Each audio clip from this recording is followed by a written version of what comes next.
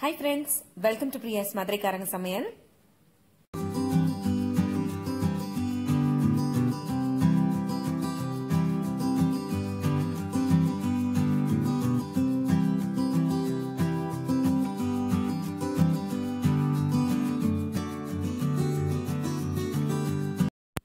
இன்னைக்கு நம்ம சேனல்ல ஒரு டேஸ்டியான பிரேக்ஃபாஸ்ட் ரெசிபி தான் பார்க்க போறோம். நல்ல சுவையான முள்ளங்கி சாம்பார் சுட சுட வெண்பொங்கல் அப்புறம் உளுந்த வடை சட்னி. வாங்க வீடியோக்குள்ள போலாம். பிரேக்ஃபாஸ்ட் ஸ்டார்ட் பண்ணுறதுக்கு முன்னாடியே உளுந்து வந்து ஒரு அரை கிளாஸ் எடுத்திருக்கேன். அதை ஊற வச்சுக்கலாம் வடைக்கு. இது ஒரு முக்கால் மணி நேரத்துலேருந்து ஒன் ஹவர் வரைக்கும் தாராளமாக யூ ஊற வச்சுக்கலாம். ரொம்ப நேரம் ஊற வைக்க வேண்டாம். இதுவே வந்து கரெக்டாக இருக்கும். அந்த ப உளுந்த வடை பதத்துக்கு. இதை ஒரு மூடி போட்டு வச்சுட்டு சாம்பாருக்கு வந்து பருப்பு வேக வைக்கணும். ஸோ குக்கரில் வந்து முக்கால் கப் அளவுக்கு துவரம் பருப்பு எடுத்திருக்கேன். இது கூட கொஞ்சமாக மஞ்சள் தூள் ரெண்டு பூண்டு ஒரு கால் ஸ்பூன் அளவுக்கு சீரகம் தேவையான அளவு உப்பு சேர்த்துட்டு மூணு கிளாஸ் அளவுக்கு தண்ணி சேர்த்துக்கிறேன். சேர்த்துட்டு இதை மூடி போட்டு ஸ்டவ்வில் வச்சிடலாம்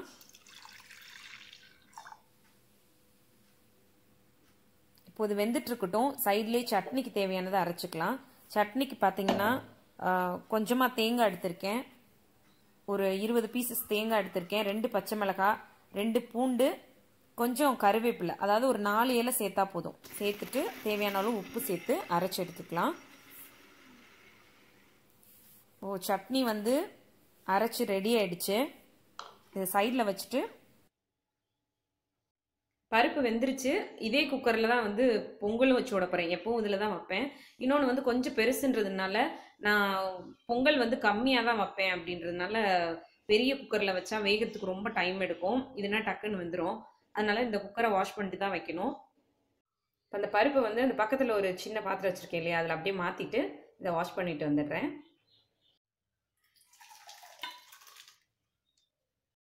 வெண்பொங்கலுக்கு வந்து முக்கால் கிளாஸ் அளவுக்கு புழுங்கல் அரிசி. அதாவது நம்ம சாதத்துக்கு எப்பயும் யூஸ் பண்ணுவோம்ல அந்த அரிசி தான் எப்பயும் யூஸ் பண்ணுவேன். பச்சரிசி உங்களுக்கு விருப்பப்பட்டீங்கன்னா தாராளமாக யூஸ் பண்ணிக்கலாம். முக்கால் கிளாஸ் அரிசிக்கு வந்து அரை கிளாஸ் வந்து பாசிப்பருப்பு எடுத்திருக்கேன். கொஞ்சமாக சீரகம் ஒரு கால் ஸ்பூன் அளவு மஞ்சள் தூள் சேர்த்துருக்கேன். என் ஹஸ்பண்டுக்கு வந்து பொங்கல் வந்து அந்த எல்லோ மஞ்சள் கலர் இருக்கும்ல அந்த மாதிரி இருந்தால் தான் பிடிக்கும். அதனால வந்து கொஞ்சம் மஞ்சள் தூள் சேர்த்துருக்கேன். இது வந்து ஆப்ஷனல் தான். விருப்பப்பட்டால் சேர்த்துக்கலாம். ஒரு சின்ன பச்சை மிளகாய் லைட்டாக காரம் இருந்தால் நல்லாயிருக்கும் கொஞ்சம் உப்பு பெருங்காயத்தூள் சேர்த்துருக்கேன். இதை அப்படியே ஸ்டவ்வில் வச்சு விட்றலாம் இப்போ இந்த ஸ்டவ்வில் வந்து வெண்பொங்கல் வச்சு விட்ருக்கேன் இந்த ஸ்டவ்வில் சாம்பார் வைக்க ஸ்டார்ட் பண்ணிடலாம். முள்ளங்கி சாம்பாருக்கு ஒரு மீடியம் சைஸ் முள்ளங்கி கொஞ்சமாக சின்ன வெங்காயம் ரெண்டு தக்காளி ஒரு பச்சை மிளகாய் கட் பண்ணி வச்சுருக்கேன்.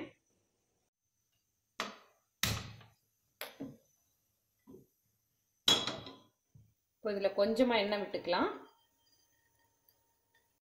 எண்ணெய் சூடாயிடுச்சு. இதில் ஒரு பச்சை மிளகாய்.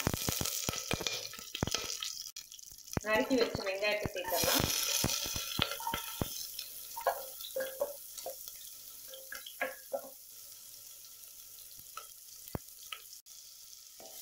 இதை அப்படியே லேசாக பச்சை வாசனை போகிற அளவுக்கு வதக்கி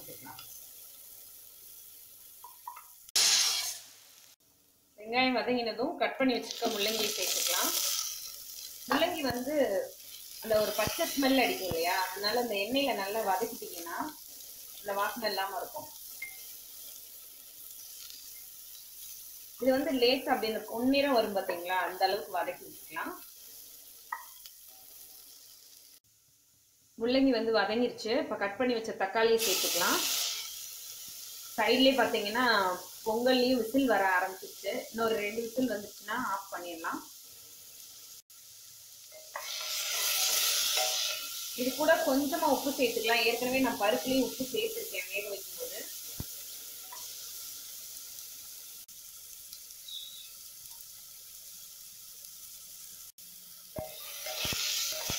தக்காளி வந்து நல்லா மசிஞ்சு வர அளவுக்கு வதக்கி விட்டுக்கலாம்.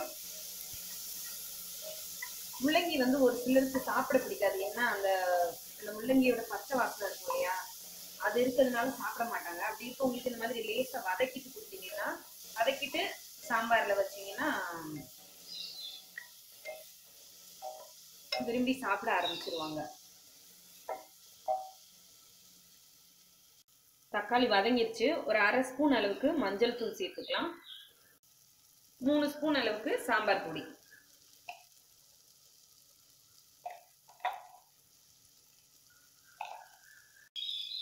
கொஞ்சம் காரம் வேணுன்றதுனால ஒரு அரை ஸ்பூன் அளவுக்கு மிளகாத்தூள் சேர்த்துக்கிறேன். உங்களுக்கு வேணும்னா சேர்த்துக்கலாம். இல்லை சாம்பார் பொடியில் இருக்க காரமே போதும் அப்படின்னா அது மட்டுமே சேர்த்துக்கலாம். சேர்த்துட்டு இது நல்லா அந்த காயோட சேர்த்து கிளறி விட்டுக்கலாம்.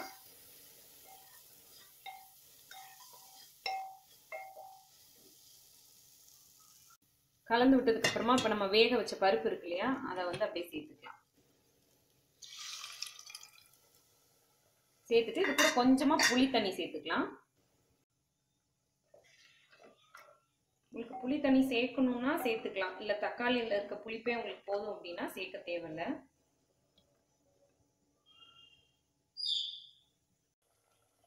கொஞ்சமாக புளி தண்ணி சேர்த்துக்கிறேன். இது கூடவே சாம்பாருக்கு தேவையான தண்ணி சேர்த்துக்கலாம். கொஞ்சம் டேஸ்ட் பண்ணி பார்த்துக்கலாம். எப்படி இருக்குன்னு. ம். சூப்பராக இருக்குது ஆனால் கொஞ்சம் உப்பு மட்டும் போடணும்.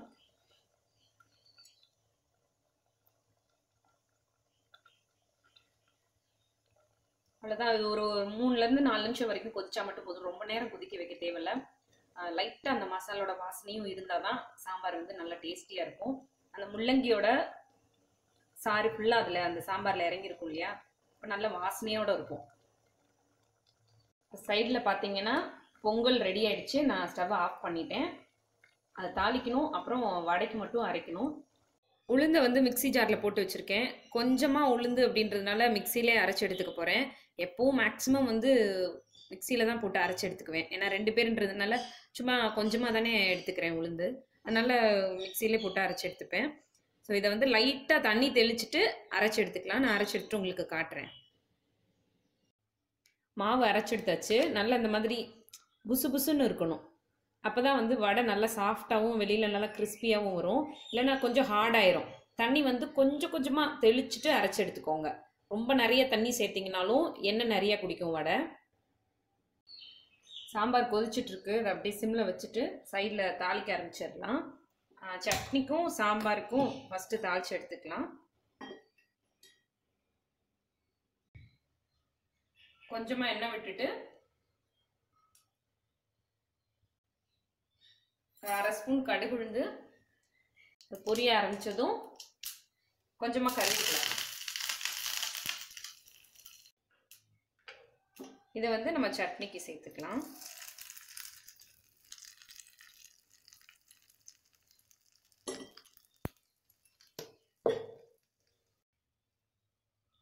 சாம்பார் தாளிச்சுக்கலாம். ஒரு ஸ்பூன் எண்ணெய் விட்டுட்டு ஒரு ஸ்பூன் கடுகு உளுந்து கொஞ்சம் கருவேப்பிலை ரெண்டு மிளகா வத்தல் கொஞ்சம் பெருங்காயத்தூள் சேர்த்து நல்லா தாளிச்சிட்டு சாம்பார் பொதிச்சிட்டுருக்கு இல்லையா அதில் அப்படியே சேர்த்துடலாம். இப்போ ஸ்டவ்வை ஆஃப் பண்ணிவிட்டு இதில் கொஞ்சமாக மல்லித்தலை சேர்த்துட்டு மூடி போட்டு மூடிடலாம். இப்போ வந்து பொங்கலுக்கு தாளிச்சிட்டு வடை போட ஆரம்பிச்சிடலாம். தாளிக்கிற கரண்டியில் கொஞ்சமாக எண்ணெயும் நெய்யும் சேர்த்துக்கலாம்.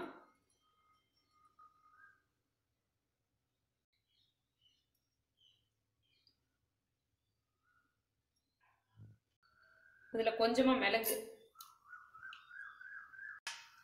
கொஞ்சம் சீரகம். ஏற்கனவே வந்து நான் பொங்கலையும் கொஞ்சம் சேர்த்துருக்கேன். அதனால் கொஞ்சமாக தான் சேர்த்துக்கிறேன். கருவேப்பிலை. லாஸ்ட்டில் கொஞ்சமாக முந்திரி பருப்பு சேர்த்துக்கலாம். முந்திரி பருப்பு சேர்த்துட்டு அப்படியே லேசாக அதை வறுத்து விட்டுட்டு ஸ்டவ் ஆஃப் பண்ணிடலாம். அந்த சூட்லேயே வந்து வறுபட்டுரும். நம்ம ரெடி பண்ணி வச்ச பொங்கலில் தாளிச்சதை அப்படியே சேர்த்துடலாம்.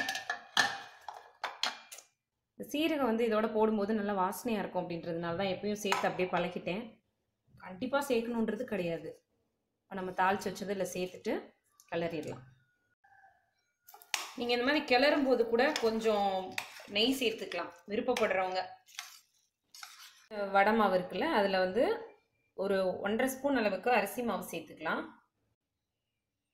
நீங்கள் வந்து பிகினர்ஸாக இருக்கீங்க அப்படின்னா அரிசி மாவெல்லாம் கொஞ்சம் பார்த்து சேர்த்துக்கோங்க. ஏன்னா கொஞ்சம் எக்ஸ்ட்ரா சேர்த்துட்டிங்கனாலும் வடை ஹார்டாயிரும் ஃபஸ்ட்டு கொஞ்சமாக சேர்த்துட்டு ஒரு வடை போட்டு பாருங்கள் அது வந்து நல்லா கிறிஸ்பியாக இருக்குது அப்படின்னா அதை அப்படியே தொடர்ந்து போட்டுக்கோங்க வடையை. அப்படி இல்லை அதில் வந்து இன்னும் கொஞ்சம் சேர்க்கணும் அப்படின்னு விருப்பப்பட்டீங்கன்னா அளவாக அடுத்து கொஞ்சமாக சேர்த்துட்டு போட்டு பார்த்துக்கோங்க. இப்போ இது கூட நறுக்கி வச்ச வெங்காயம் சேர்த்துக்கலாம். அப்புறம் பச்சை மிளகாய் கொஞ்சமாக இஞ்சி துருவினது சேர்த்துக்கிறேன். அப்புறம் கருவேப்பிலை.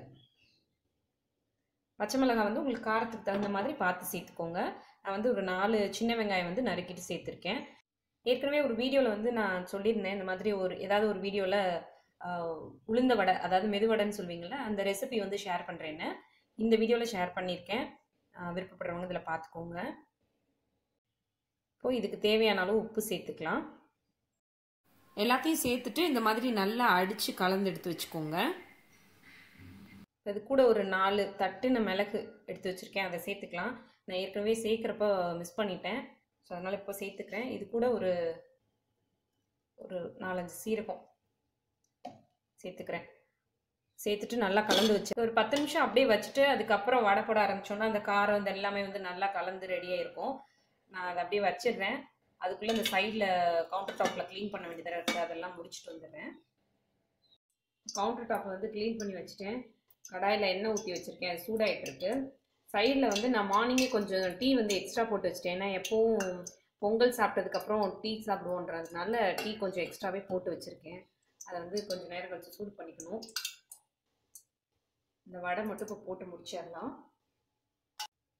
எண்ணெய் வந்து நல்லா சூடானதுக்கப்புறமா கொஞ்சம் மீடியம் ஃப்ளேம்லேயோ இல்லை லோ ஃப்ளேம்லேயோ வச்சுக்கோங்க. வச்சுட்டு அப்புறம் வடை போட ஆரம்பிச்சுட்டு வடை போட்டதுக்கப்புறம் அப்படியே கொஞ்சம் ஃப்ளேமை வந்து ஜாஸ்தி பண்ணி விட்டுக்கோங்க. எண்ணெய் நல்லா சூடாயிருச்சு. நம்ம அரைச்சி வச்ச மாவுலேருந்து எந்த சைஸ் வேணுமோ அந்த அளவுக்கு எடுத்துக்கோங்க.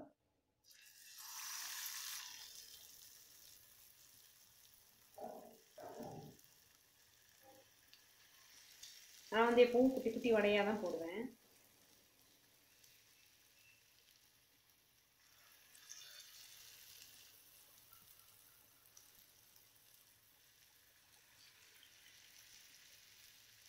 இப்போ வந்து அப்படியே நல்லா வேகட்டும். லேசான ஒரு பொன்னிறம் வரும் பாருங்க. அந்த ஸ்டேஜில் நம்ம எடுத்துடலாம். சில்வர் கடாயில் வந்து நீங்கள் வடை போடும்போது கொஞ்சம் பார்த்து போடுங்க. டக்குன்னு கீழே வந்து ஒட்டிக்கும். அப்போ எண்ணெய் வந்து கொஞ்சம் நிறைய ஊற்றி வச்சிங்கன்னா அந்த பிரச்சனை இருக்காது. நல்லா அப்படியே திருப்பி விட்டுட்டே இருக்கலாம் ஸ்டார்டிங் ஸ்டேஜில் எல்லாம் நீங்கள் அதாவது குக்கிங் கற்றுக்கிற பிகினர்ஸை சொல்கிறேன் நீங்கள் ஸ்டார்ட் ஸ்டார்டிங் ஸ்டேஜில் வந்து இந்த மாதிரி வடையெல்லாம் செஞ்சு பார்க்கும்போது கொஞ்சம் சில சில சில மிஸ்டேக்ஸ்லாம் வரதான் செய்யும்.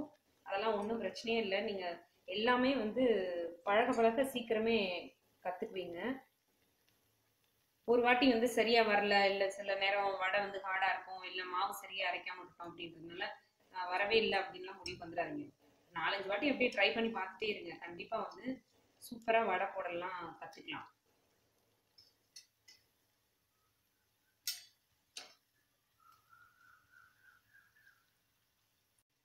வடை பார்த்தீங்கன்னா நல்லா வெந்துருச்சு.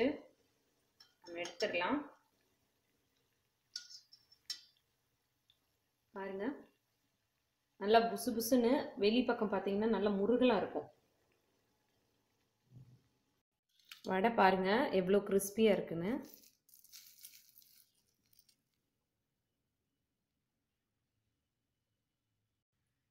எண்ணெயும் அவ்வளோவா குடிக்கல. டேஸ்ட் வைஸ் பார்த்தீங்கனாலும் அவ்வளோ சூப்பராக இருக்குது ஸோ கண்டிப்பாக ட்ரை பண்ணி பாருங்கள் ட்ரை பண்ணி பார்த்துட்டு எப்படி இருந்துச்சுன்னு சொல்லுங்கள் பிரேக்ஃபாஸ்ட் சூப்பராக ரெடி ஆயிடுச்சு. இந்த வீடியோ உங்களுக்கு கண்டிப்பாக பிடிச்சிருக்கும்னு நினைக்கிறேன். வீடியோ பிடிச்சிருந்ததுன்னா லைக் பண்ணிவிட்டு நம்ம சேனலை மறக்காமல் சப்ஸ்கிரைப் பண்ணுங்கள் தேங்க்யூ